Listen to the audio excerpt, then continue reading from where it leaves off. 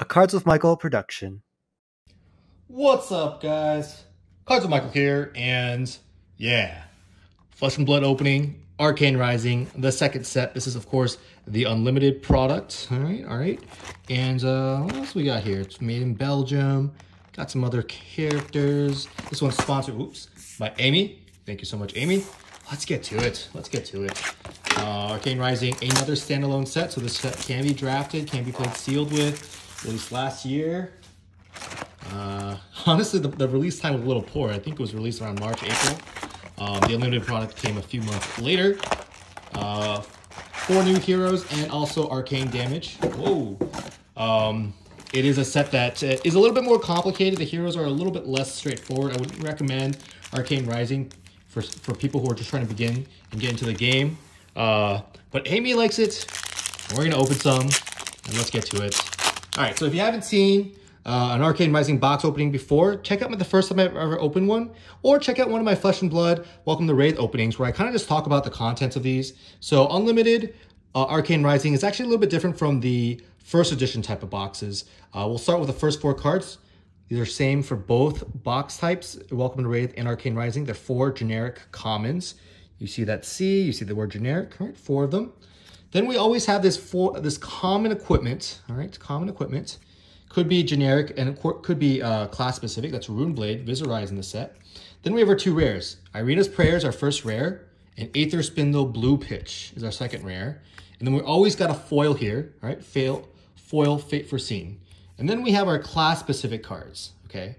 The only difference is first edition would have the equipment right here after the foil. So very small difference, but you know, for those who ever had the chance of opening a first edition. Hey, we have a double Kano token. Kano, of course, is the wizard in this in this game, and he starts with less health. Everyone, all the other young heroes start, well, most of the young heroes start with 20. He starts with at least 15. And his adult version only starts with 30, and that tells you how powerful his ability is, his instant ability. All right, got some comments, put them to the side. That's pack number one. Let's see how we do of the box. Arcane Rising, of course. Oh, by the way, just because of this, all the tokens are double-sided except for the cracked bauble. So we knew that, that was a cracked bauble. All right, what are our first four commons? Okay, there's our first four commons.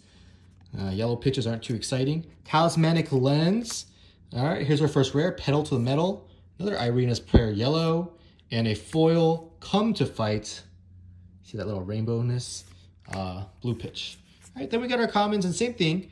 Uh, whoa, this is actually something I've never seen before. There's three Ranger commons and then one of each of the other classes, or sorry, and then only one Wizard and one uh, Mech.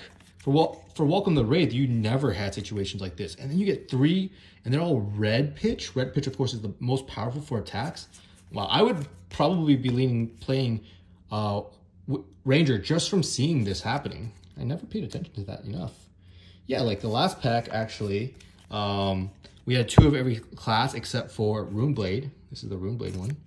All right, anyways, you guys came here for a box opening. We'll do that. I'm trying to sort of appeal to guys who are new, but you know, this is this is just the kind of thing where hopefully by now you've watched the video how to play, and then you're watching this kind of foil back alley break line is our foil. Right? So what about this pack? Yeah, same thing. Just one Ranger card, but the other classes have two cards each. Another cracked bauble.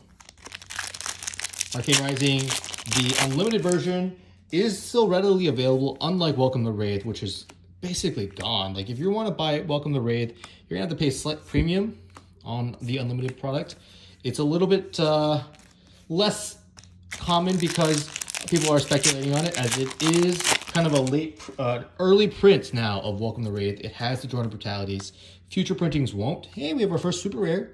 Ninth Blade of the Blood Oath. Costs nine resources. Deals nine, but it costs less to play for each rune chant you control.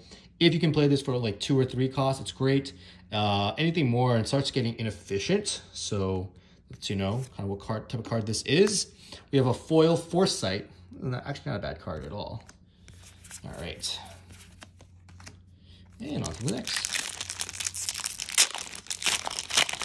Here we go. We got our commons, bullseye bracers, plunder run, endless arrows, our second super rare, right? Neat. And a foil take aim. So same thing with uh, Flesh and Blood, we're looking for the Majestics. Um, you're not guaranteed a legendary, but any of the legendaries would pay for the box, which is really neat. Mage Master Boots. Reduce the Rune Chant is our first rare. Spellblade Assault is our second.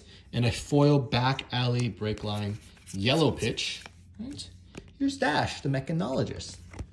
And that's the Crucible of Aetherweave, the wizard weapon that doesn't actually even attack for damage. It just amplifies your actual spells. And it is better than the other one, the other weapon that comes in Crucible of War by a lot. Take cover, Enchanting Melody, and a foil lead the charge yellow. Pitch, yeah, on to the next, on to the next. Here we go. We got our four commons, Talismanic Lens, Pour the Mold, Eirina's Prayer, and a foil headshot. Jeez. The gore, the gore on this is very, very intense. This is a 16 plus game, so keep that in mind, my fans, my supporters. Uh, it's not that the channel isn't family friendly, it's just some of these cards, um, you know, you might want to, you know, make sure, oh, this is a foil Arknight Ascendancy. Ah, holy moly, nice. Oh, what a sweet pull for Amy. Ah, I love it. So this is, oh my gosh, I should talk about this. This is Majestic tell because of that M. This is a Viserai specialization. You can only play it if you're Viserai, and it's just a very powerful card. Just a very powerful card, right? And of course, it is foil. You can't really tell that it's foil, but it is foil, trust me, and a super good hit. And I'm really glad to see that we got a foil Majestic in this pack because, or this box, because it means that we'll probably will get two more Majestic most of the time. Uh, most of the time, the foil Majestics aren't part of the Majestic count. All right, here we go. We got a Viserai, little token here. Okay. On to the next, got our four commons, our common equipment, our two rares, and a foil red hamstring shots. All right. Okay. On to the next. On to the next. Here we go. Two, three, four. Null Rune Hood, our first two rares, and a foil rare, Eirina's Prayer Yellow Pitch. Oh man, Eirina's Prayer, not, not really a card that I would play, but um, you know, it could be good, I guess. I've seen some in the sideboards of Classic Constructed. Well, not sideboard, ooh, a Life for Life Red. This is a highly collectible card, I mean playable card. I would make sure to have a playset or three just just kind of slot them in and out because they are generic attack. we go on to the next pack. We got our four commons, a Bullseye Bracers, that's the Ranger common equipment, and oh, another Majestic, also for the Arc Knight, the Rune Blade, Mordred Tide, as well as a Blood Spill Invocation. All right, so we did get two Majestics already, and who? There's Azalea, Ace in the hole. All right. You'll love to see it. You'll love to see it.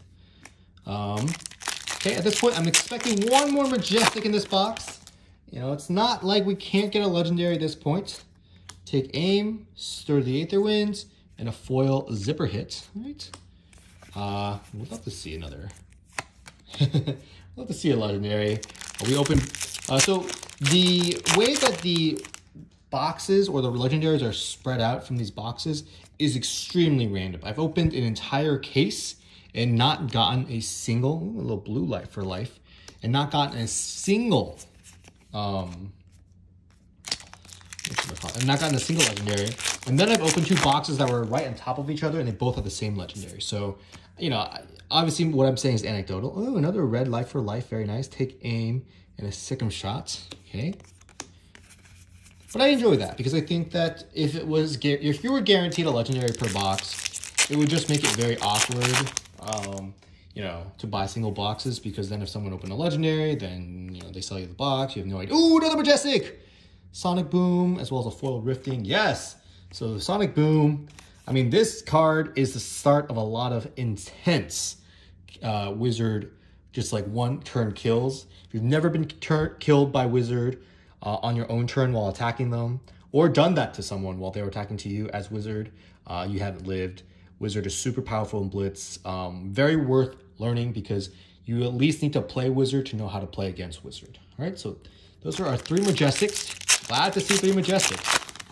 Now we're looking for that legendary, maybe a foil super rare, if possible. Okay, oh, okay. Sorry, guys. Two rares. We do have a rainbow foil equipment, the Robe of Rapture.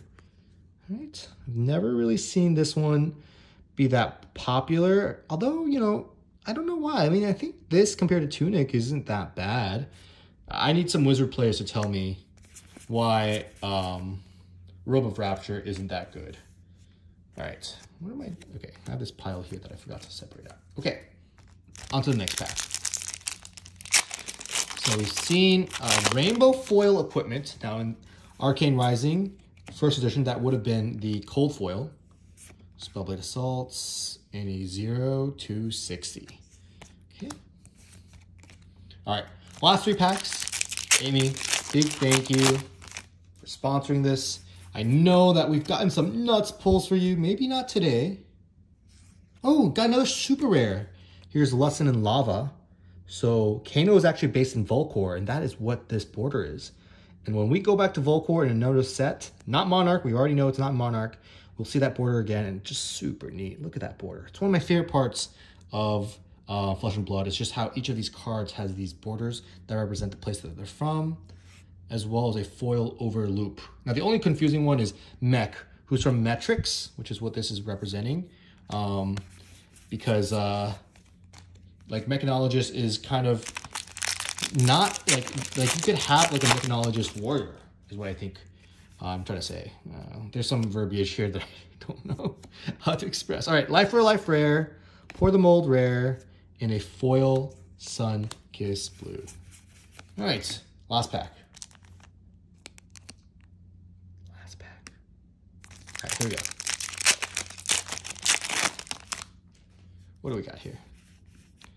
Achilles Accelerator, take cover, Rusted Relic, another super rare, and a foil rifting. So most of your boxes are going to look like this. Um, this is a uh, average run-of-the-mill box. Um, we got our four super rares, which is roughly how many we're expecting. All right, four super rares.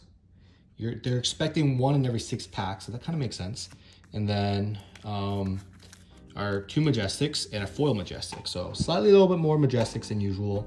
This Arknight Ascendancy and Mordred Tide are super playable. I expect Mordred Tide just to be a playable Runeblade card, no matter what type of Runeblade, Shadow Runeblade uh, included. Um, that is the box opening. Amy, thank you again for sponsoring this. Sorry I couldn't get you the eye this time, but definitely on the next. Guys, see you